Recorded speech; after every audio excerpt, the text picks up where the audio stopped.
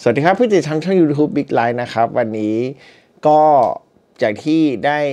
เขียนกำหนดการว่ารีวิว แต่ละสัปดาห์นั้นจะเป็นอย่างไรนะครับ วันนี้เรามาพบกับนี่ คู่แฝดอภินิหารของ Samsung นะครับ Samsung Galaxy A15 และ A15 5G ครับ ไม่แยกคลิปหรอกตอนนี้ขอรวมเลย เพราะว่ามันเหมือนกันเป๊ะ แต่ว่าดีเทลอะไรต่างๆที่มันแตกต่างกันอย่างไร เรามาเฉลยในคลิปนี้พร้อมแล้วรับชมได้เลยครับ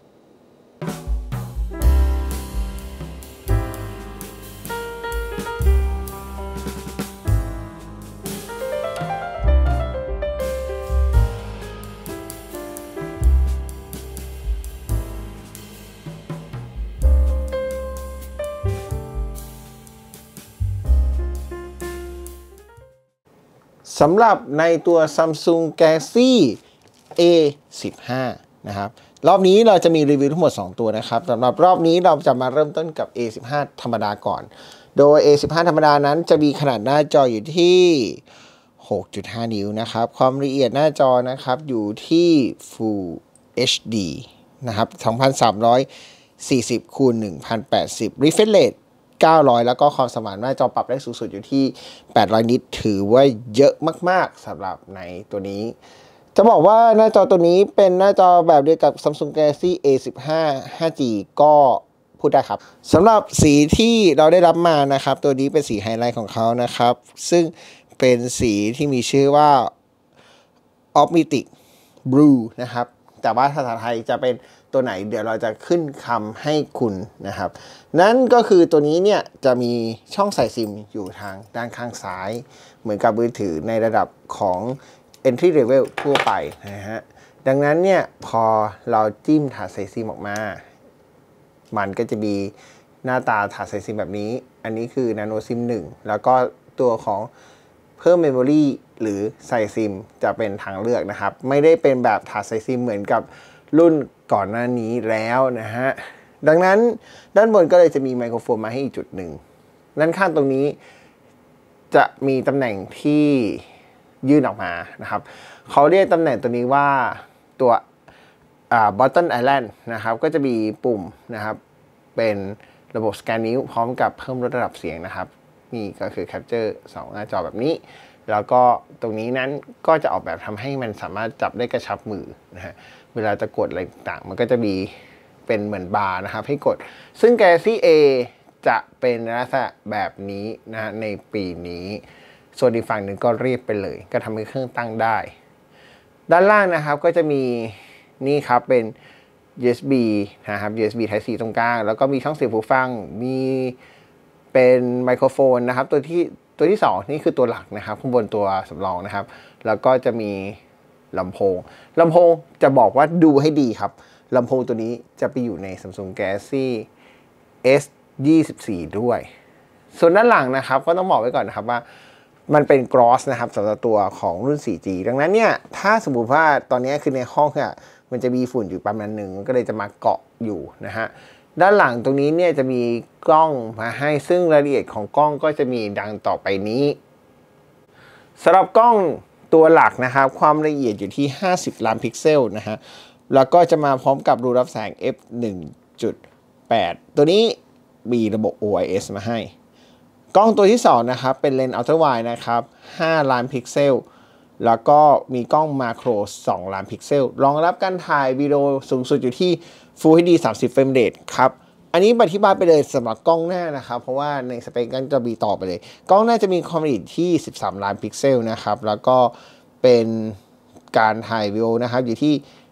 1080 อันนี้แถมให้นะครับสำหรับคนที่อยากรู้ว่าเอ้ยหน้าจอเป็นยังไงสำหรับกล้องหน้าเป็นแบบเดนวิก ตัวของหน้าจอ Infinity อยู่นะครับ เป็นแบบนี้ ดังนั้นในการที่เราจะถือนั่นถือว่าค่อนข้างที่จะมีน้ำหนักที่อยู่ประมาณหนึ่ง เพราะว่ามือถือตัวนี้นั้นก็มีน้ำหนักอยู่ประมาณนะครับ 200 กรัมพอดี ไม่ว่าจะเป็นรุ่น 4G หรือ 5G ครับ โอเค เดี๋ยวเราไปดูเกี่ยวกับในเรื่องของระบบเสียงกันดีกว่าครับว่ามันจะเป็นอย่างไร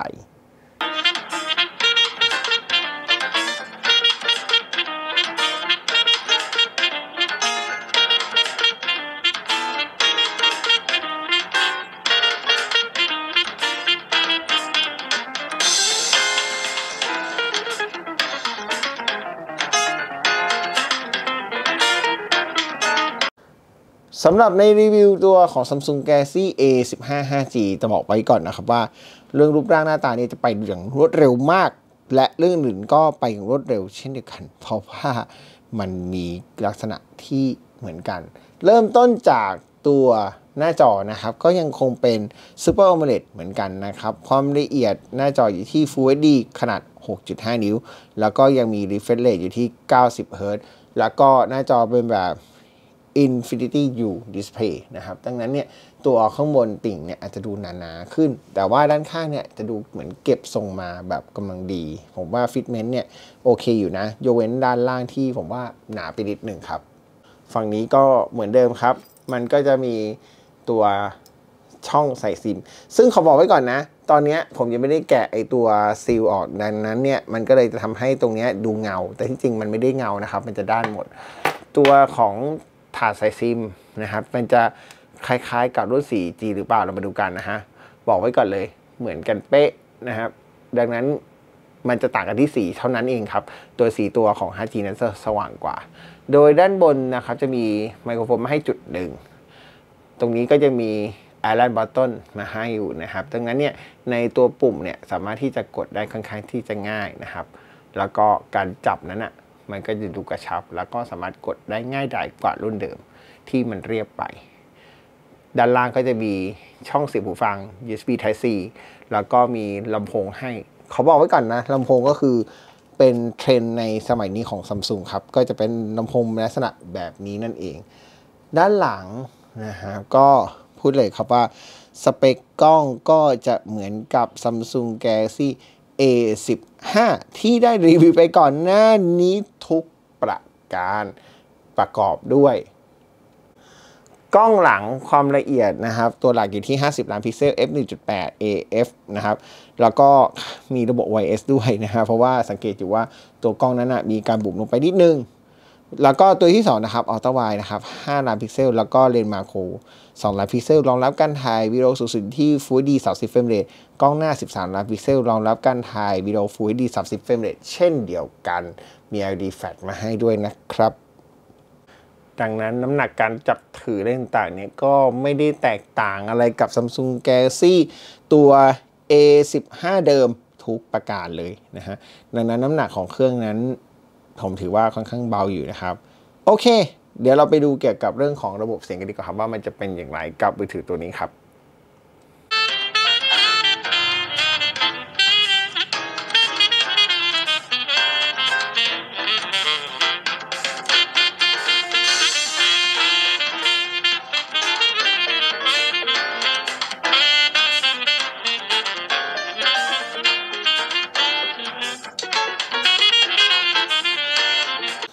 ฟีเจอร์และระบบปฏิบัติการ จะบอกว่ามันทั้งคู่ทั้ง Samsung Galaxy A15 และ A15 5G นั้น จะใช้ระบบปฏิบัติการเดียวกันนั่นก็คือ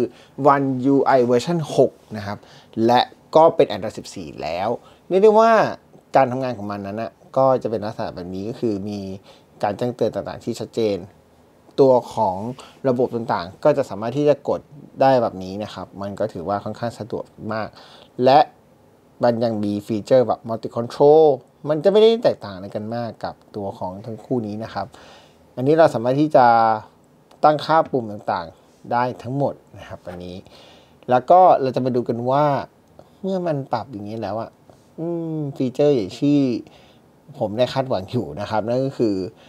การตั้งค่าตัวนี้แบบตั้งค่าตรงนี้นะครับ ว่ามันจะมีระบบอัดหน้าจอหรือยัง มันจะกลับมาหรือเปล่านะครับ อุ้ย Dolby Atmos มามีมาให้เหมือนกันนะครับ แต่ Dolby Atmos มีเฉพาะหูฟังนะครับ เรามีระบบป้องกันแบตเตอรี่ด้วย รับสายกับแท็บเล็ตได้ด้วยนะครับ อ่า ยังไม่มีฟีเจอร์อัดหน้าจอ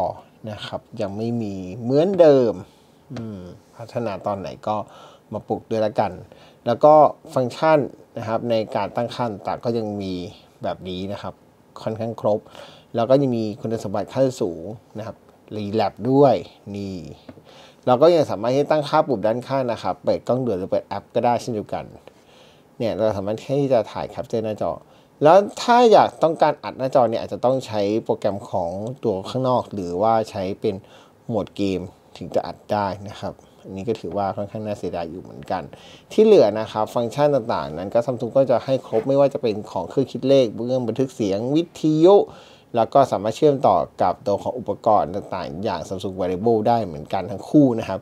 ต่างกันแค่เรื่องของ 5G แค่นั้นเองสำหรับในเรื่องของฟังก์ชันต่างๆนะครับ ก็ไม่ได้มีความแตกต่างกันเยอะเท่าไหร่ โอเค เดี๋ยวเราไปดูเกี่ยวกับฟีเจอร์ของกล้องกันนะครับ ว่า Samsung Galaxy A15 5G และ A15 ปกตินั้นนะจะต่างกันอย่างไรนะครับพร้อมแล้วไปดูกัน สำหรับฟังก์ชันกล้องนะครับ ก็ยังคงมีลักษณะ UI ในแบบนี้ครับ ก็คือสามารถใช้งานได้ง่าย มีเลนนะครับ 0.5 แล้วก็มีระยะการซูมสูงสุด 10 เท่าแบบนี้นะครับเนี่ยสามารถที่จะถ่ายแบบกล้องค่อนข้างชัดอยู่นะครับ แล้วก็ยังสามารถที่ทำไฮบริดได้นิดหน่อย มีโหมดบุคคล แล้วก็สามารถที่จะเลือกเอฟเฟกต์อะไรหลังได้ โหมด Fun นะครับ ไม่ใช่เป็นการฟันทิ้งนะครับ แต่ว่าเป็นการนำ ตัวของ skin ต่างๆมาใช้นะครับ ก็จะเป็นโปรแกรมที่ co-develop กับโปรแกรมอย่างเช่นตัวของ Snap นะครับ Snapchat ตัวนี้ก็ยังมีโหมดนะครับ 12 ล้านพิกเซล เราสามารถที่จะปรับเป็น 50 ล้านพิกเซลแบบนี้ได้นะครับ ถ้าไม่ได้ปรับมันก็จะเป็น binning นี่ยังมีตัวของกล้องนะครับ ซึ่งสามารถที่จะ ถ่ายวิดีโอได้แค่ 30 frame rate เท่านั้นนะครับ แล้วก็สามารถที่จะเลือกรูปแบบก็คือ 1 ต่อ 1 9 ต่อ 16 หรือว่า full ก็ได้ โหมดอื่นๆมีโหมด Pro มีโหมดพาโนามามีโหมดอาหาร slow motion แต่ไม่มี time slap นะครับ อันนี้ต้องบอกไว้ก่อนนะ ถ้าเป็นรุ่นที่เป็นตัว 5G ล่ะอะ ถ้าเป็น 5G นะครับ มันก็จะใช้คำว่าไงดี ใช้คำว่า ถ้าที่เราลองสำรวจนะครับ เนี่ยมันก็จะมีลักษณะที่เหมือนกันอยู่ เนี่ยโหมดต่างก็ยังคล้ายกันนะครับ แต่ว่าจะเพิ่ม Hyperlap เข้ามาอีกโหมดหนึ่ง ทีนี้เดี๋ยวเราไปดูเกี่ยวกับเรื่องของตัวกล้องนะครับ เป็นกล้องหน้าว่ากล้องหน้านั้นจะมีอะไรบ้าง เดี๋ยวพร้อมเราไปรับชมกันต่อเลยครับ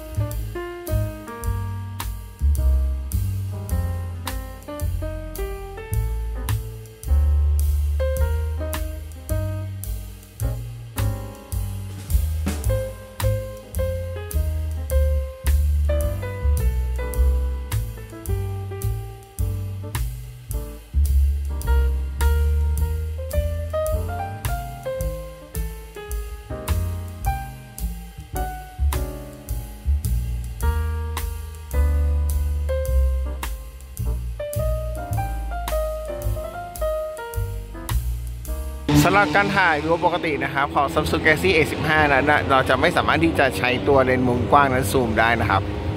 แต่พอเป็นระยะหนึ่งเท่านี้นะครับ เราก็จะสามารถซูมได้นะครับ โดยสามารถจะซูมได้จนถึงระยะที่ 10 แต่เนื่องจากว่าเป็นดิจิตอลซูมนะครับ ก็อาจจะทำให้ภาพนั้นแตกแล้วก็ดูไม่ค่อยได้เท่าไหร่ ในการซูมนะครับ ในระยะเลนส์มุมกว้างแบบนี้จะไม่สามารถซูมได้นะครับ แต่ว่าเก็บรายละเอียดได้ครบ แต่พอเป็นเลนส์หนึ่งเท่านะครับ สามารถที่จะลากซูมได้สุดๆนะครับ สูงสุดอยู่ที่ 10 เท่านะครับ ก็จะเป็นรายละเอียดแบบนี้นั่นเอง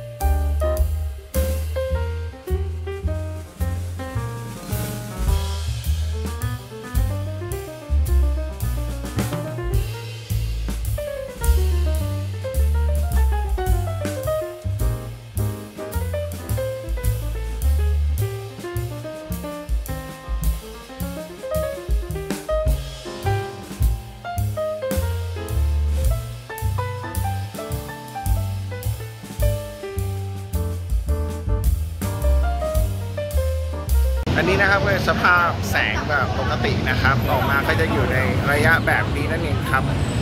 ก็เก็บได้ยังดีอยู่นะฮะแต่ว่าถ้ากลางคืนผมคิดว่ามันน่าจะแย่ครับ อันนี้เป็นการทดลองในการถ่ายในที่แสงน้อยนะครับของ Samsung Galaxy A15 5G นะครับสิ่งออกมาก็จะเป็นในลักษณะแบบนี้นั่นเองครับ ก็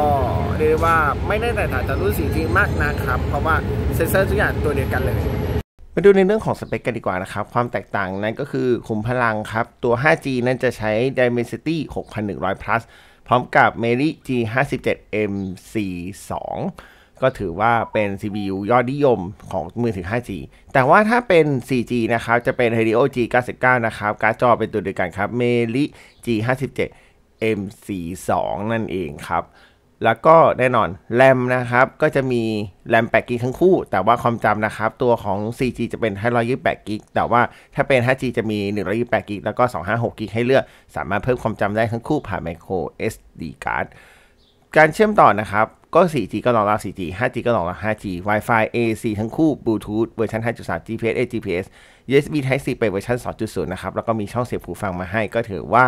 เพียงพอต่อการใช้งานสำหรับมือถือในระดับนี้แล้วนะครับ แล้วก็แน่นอนครับในเรื่องของแบตเตอรี่ขนาดเท่ากันครับ 5,000 มิลลิแอมป์ครับรองรับกำลังใช้ไฟสูงสุดอยู่ที่ 25 วัตต์นะครับ แต่ว่าถ้าเหลือไฟน้อยเนี่ยมันอาจจะได้สูงสุดอยู่ประมาณช่วง 30 วัตต์ อันนี้ก็ถือว่าเป็นเรื่องที่น่ายินดีสำหรับมือถือระดับนี้ครับ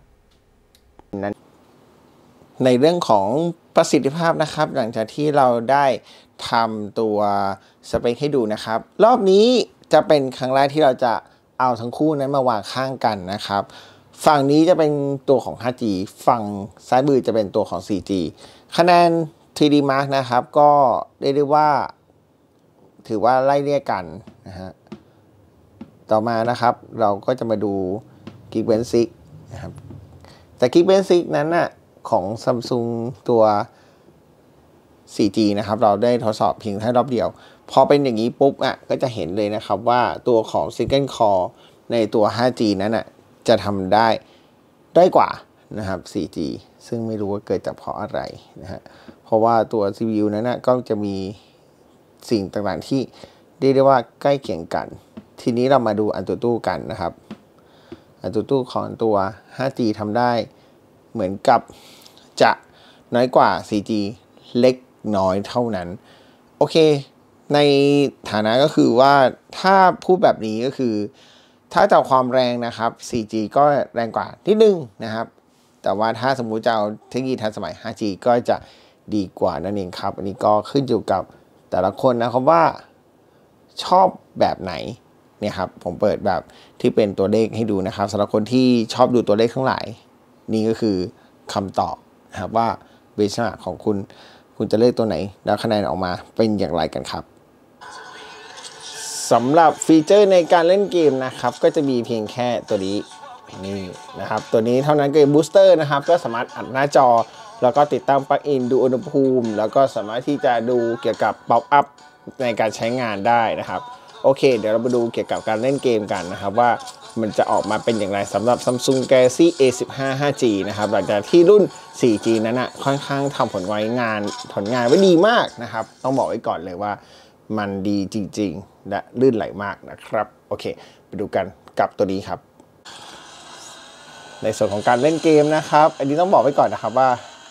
ในการโยกหลบอะไรต่างๆนั้นก็ถือว่าค่อนข้างทำได้ดีอยู่นะครับ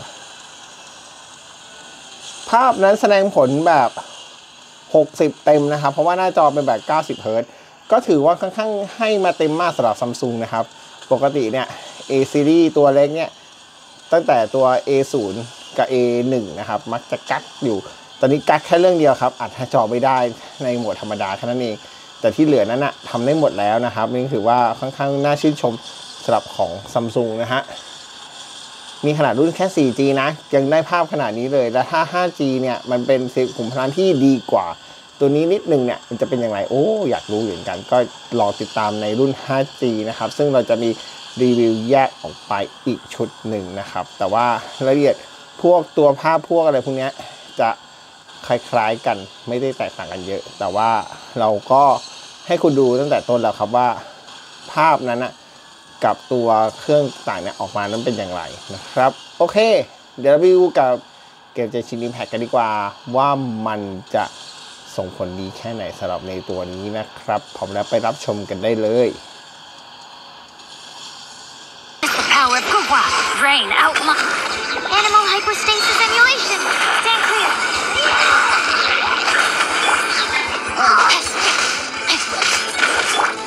Wings of darkness. Come, sever night from day.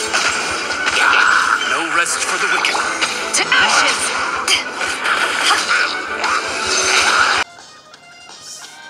เมื่อเราเข้าเกมมาสังเกตนะครับว่าตัวภาพนะครับ มันก็ค่อนข้างคมชัดแต่ลำโพงนั้นนะอยู่แค่ตำแหน่งที่นิ้วชี้ด้านขวาที่ผมชี้อยู่ ภาพออกมาเซอร์ไพรส์อยู่นะครับว่า เอ้ย มันก็ใช้ได้ แต่ว่าเอ่อเครื่องจากเครื่องตัวนี้นะครับ มันเป็นเครื่อง prototype จริงๆเอ่อในการเล่นนะครับทำให้ของภายจริงที่ไม่สามารถใช้ gesture ได้นะครับ ดังนั้นเราก็จะเป็นจะต้องใช้ touch ได้อยู่ต่อไป เพราะว่าตัวนี้นั้นน่ะ ถ้าเอาความความจริงในสเปคตัวของ A15 5G นะครับ มันจะดีกว่า A15 4G อยู่พอสมควร เพราะว่าขุมพลังสำหรับอ่า MediaTek Dimensity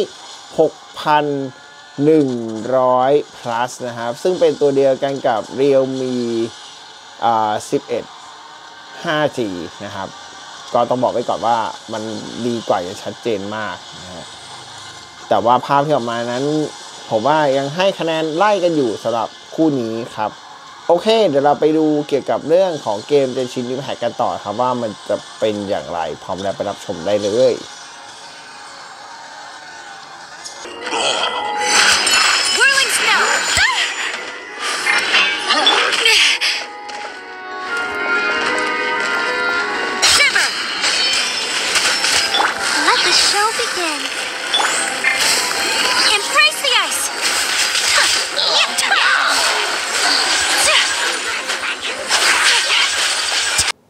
การเชื่อมต่อทั้งคู่นะครับ จะรองรับ Wi-Fi นะครับ เป็น Wi-Fi เวอร์ชัน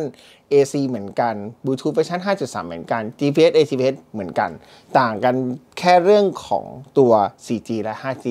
ก็จะทำให้ในเรื่องของการทดสอบความเร็วนั้นนะพูดเลยนะครับว่ามันจะแบบแลบกันเฉพาะเรื่องของ 4G และ 5G เท่านั้น แต่การเชื่อมต่อในการนำทางนั้น ผมถือว่าใช้งานได้ครับ แล้วก็แม่นยำพอสมควรเลย ทีนี้เรามาทดสอบความเร็วนะครับ เนื่องจากในตัว 5G นะครับมีข้อบกพร่องในเรื่องของซิมการ์ดทำให้เราไม่สามารถจะทดลองเรื่องของซิมการ์ดได้ เราก็เลยจะทดลองในเรื่องของความเร็วนะครับ โดยเราจะกดตัวของ Wi-Fi ที่เป็น Wi-Fi AC พร้อมกันทั้ง 2 เครื่องนะครับ ขอบอกไว้ก่อนนะครับว่าอินเทอร์เน็ตที่เราใช้เป็น1กิกะบิตนะครับ แล้วทั้งคู่นั้นก็อยู่ในวงเดียวกันนะครับ ความเร็วที่ออกมาอาจจะแลบกันนิดนึง แต่ว่า เท่าที่สังเกตจากความเร็วที่ได้ออกมานะครับ ถือว่าไล่เรียกกันและไม่ได้แตกต่างกันมากครับ ดังนั้นในเรื่องของการเชื่อมต่อนี้ถือว่าสบายมากๆเลยทีเดียวครับ ทีนี้ในเรื่องแบตเตอรี่ต้องบอกไปก่อนนะครับว่าสำหรับในตัว Samsung Galaxy A 51 5G ที่คุณรับชมอยู่นี้เนี่ย มันจะไม่มีการทดสอบในรูปแบบของ Daily เนื่องจากซิมการ์ดเราไม่สามารถจะใส่ได้นะครับ ฉะนั้นใครที่อยากรู้ว่า เอ้ย ตัวเนี้ย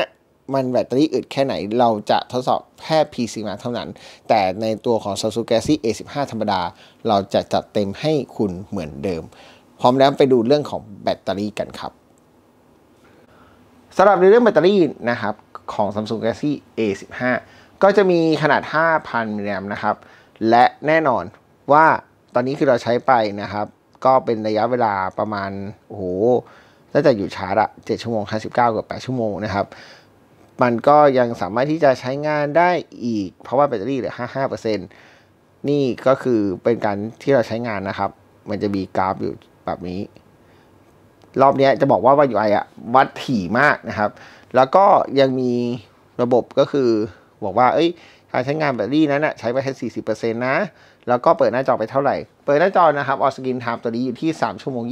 24 โดยแบตเตอรี่นั้นเหลือเยอะมาก ดังนั้นถ้าเราเปิดนานกว่านี้ มันก็จะใช้ได้นะนี่ก็คือเป็นแบบวันที่เรา test ในตัว PC Mark นะครับ ก็จะมี 8 ชั่วโมง 47 เนี่ยก็ยังอยู่ได้นะครับ การใช้งานปกติเนี่ยถือว่าค่อนข้างโอเคอยู่นะ นอกจากนี้นะครับในเรื่องของระบบการจัดการก็ง่ายๆครับมีแค่ระบบประหยัดพลังงาน ตั้งขีดจำกัดของแอปพลิเคชัน และระบบป้องกันแบตเตอรี่ นอกจากนี้นะครับก็จะมาที่จะตั้งค่าระบบการชาร์จว่าจะให้ชาร์จด่วนนะครับกำลัง25 วัตต์ได้ หรือไม่ต้องก็ได้นะครับแสดงผลเปอร์เซ็นต์ข้อมูลแบตเตอรี่ว่าแบตเตอรี่นั้นเป็นอย่างไรด้วยเช่นเดียวกันครับ ก็จะเป็นแบบนี้ทั้ง 2 รุ่น แต่ต้องบอกไว้ก่อนนะครับ ถ้าในสภาพจริงของ Samsung Galaxy A15 5G นั้นถ้าสมมติว่าเราใช้งานในลักษณะแบบนี้เป็นยังไง ก็คือแบตเตอรี่นั้นจะเหลือน้อยกว่า Samsung Galaxy A15 ปกติที่เป็นเวอร์ชัน 4G อย่างแน่นอนครับ ส่วน PC Mark ทั้งคู่นั้นจะเป็นอย่างไร เดี๋ยวเราไปรับชมกันต่อครับ PC Mark ของ Samsung Galaxy A15 นะครับ ก็จะทำได้อยู่ที่ 10 ชั่วโมง 9 นาที ถือว่าค่อนข้างอึดอยู่สำหรับมือถือตัวนี้ PC Mark ของ Samsung Galaxy A15 5G นะครับทำได้ที่ 9 ชั่วโมง 10 นาทีนะครับ ก็เป็นไปตามคาดว่ามันก็กินไฟประมาณนี้ครับ ทีนี้เราก็มาดูในเรื่องของตัวในระบบ Device Care นะครับ การดูแลก่อน ก็จะเป็นลักษณะแบบนี้ จะบอกไว้ก่อนนะครับว่ารุ่นนี้จะเป็นรุ่นเดียวที่เราย้ำตั้งแต่แรกว่าเราจะไม่มีการ test ตัว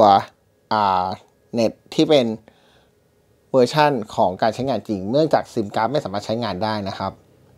ในการใช้งานของเราครับก็พบว่าในระยะเวลาหนึ่งเนี่ยเนี่ยแบตเตอรี่มันก็ลดลงประมาณเยอะอยู่เหมือนกันนะครับ ในการใช้งานของเราครับ มันก็จะอยู่ตามโปรแกรมเลยเป๊ะๆนะครับ เมื่อเป็นแบบนี้นะครับ ก็ถามว่าประหยัดไฟไหมถ้าสมมติว่าเป็นการใช้งานปกติก็ประหยัดอยู่ แต่ว่าที่เหลือนะครับก็จะมีฟีเจอร์ทั้งระบบประหยัดพลังงาน ขีดจำกัด แล้วก็ปกป้องหน้าจออะไรต่างๆ ด้วยเช่นเดียวกันแสดงผลเปอร์เซ็นต์ได้ แล้วก็สามารถตั้งค่าได้ ทีนี้ระบบชาร์จนะครับนี่รองรับถึง 25 วัตต์ โดยแรปเตอร์จะต้องรองรับกำลังสูงสุดนะครับจะเท่าไหร่ก็ได้ เวลาไฟมันเข้าเต็มจริงๆนะมันจะเข้าอยู่ประมาณช่วง 27ถึง28 นะครับแต่ว่าจริงๆอะเครื่องจะรับที่ 25ทำว่าเมื่อเราเสียบชาร์จแบบนี้ มันใช้เวลาในการทำให้มันเต็มเนี่ยเท่าไหร่ เครื่องคำนวณออกมาแล้วนะครับ อยู่ที่ 1 ชั่วโมง 22 นาทีครับ สรุปกันสั้นๆนะครับสำหรับ Samsung Galaxy A15 ทั้ง 4G และ 5G ต่างกันอย่างไรนะครับ ต่างกันที่ชิป ต่างกันที่เรื่องของความเร็วในการประมวลผลอะไรต่างๆแค่นั้นเอง แล้วก็ในเรื่องของตัว ความจำนิด ๆ หน่อย ๆ โดยที่รุ่นของตัว A15 5G นั้นจะมีรุ่น256กิกให้เลือกนะครับ ราคาก็เลยจะพุ่มขึ้นกว่ากันเล็กน้อยนะครับ โดยราคานั้นนะผมได้ะเอาไว้ทางข้างล่างแล้วเช่นเดียวกันนะครับว่าเป็นอย่างไรโอ้โหช่วงนี้คือรีวิวเนี่ยเบโก้เรื่องราวราคาพอสมควรเลยนะครับ แต่ว่าอย่างไรก็ตามครับ ถ้าคุณไม่ได้เน้นในเรื่องของการใช้งานอะไรเยอะแยะมากมายตัวนี้ก็ถือว่าน่าสนใจ ราคานะครับคาดว่าอยู่ที่ 6,999 บาทถ้าผิดก็ขออภัย แต่ตัวนี้นะครับเริ่มต้นนั้นนะผมได้แอบถ่ายจาก AS มาแล้วนะครับโหราคานั้นเขาบอกว่า อืม เริ่มต้นอยู่ที่ 8,900นะครับ ก็ถือ7,900 เริ่มต้น 7,999 บาท และจบอยู่ที่ 8,999 บาทนะครับ ก็ถือว่าเป็น 5G ตัวเริ่มต้นที่พูดเลยว่าใครที่สนใจอยู่ ผมว่าน่าสนใจอยู่นะ เพราะว่าสเปคก็ให้มาดีนะในปีนี้ แล้วก็มีเทคโนโลยี AI ต่างๆ ที่มามาให้เยอะมากนะครับ แต่ถ้าใครคิดว่าไอ้สองตัวเนี้ยมันยังไม่พอ A25 5G ก็รอคุณอยู่ แต่ราคานั้นก็คือหมื่นต้นนั่นเองครับ ซึ่งตัวนั้นจะได้รีวิวหรือเปล่า รอติดตามชมในอนาคตครับสำหรับคลิปนี้ลาไปก่อนพบกันใหม่คลิปหน้า จะเป็นเรื่องราวในนั้นรอติดตามชมในช่องปิดไลน์นะครับ อย่าลืมกดไลค์กดแชร์กด subscribe คอมเมนต์มาพูดคุยกันได้ทางข้างล่างนี้ และใน facebook.com slash ปีไลน์บอกเช่นเคยครับท้ายกับราคาของ Samsung Galaxy A15 นะครับ 5G ก็จะอยู่ที่ 8,999 บาทนะครับ แล้วก็ตัวของ 4G จะอยู่ที่ 6,999 บาท นอกจากนี้นะครับ ผมไปเจอโปร AS มานะครับ ก็สามารถเปิดจองได้ตั้งแต่วันนี้นะครับ ก็เริ่มต้นนะครับ ราคาที่ 4,699 บาทครับ